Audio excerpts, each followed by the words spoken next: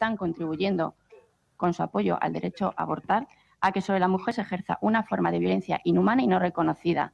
Y me da igual la definición de abortista que quiera hacer usted, señora. Y acusó a los profesionales médicos de la seguridad social de no informar bien a las mujeres que deciden abortar. No, no, no, no.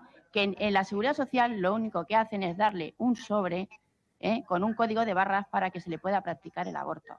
Los médicos no ofrecen más información. La edil del Partido Popular para el área de mujer en Albacete, María Ángeles Martínez Paños, dijo estas palabras durante un pleno. En él la oposición denunciaba acoso y coacción por parte de la Asociación de Defensa de la Vida a las Mujeres que acuden a esta clínica.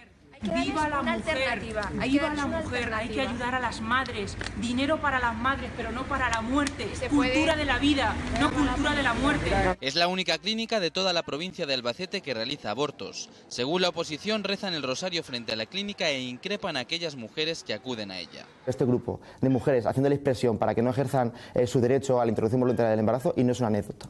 Yo veo a mujeres como cuando llegan a la clínica se dan la vuelta hasta que las mujeres, hasta que las del grupo de derechos a ser madre se van de la de la clínica para poder abortar. La sexta noticias ha querido hablar con la edil del Partido Popular y ella ha denegado la propuesta. La oposición pide que dimita.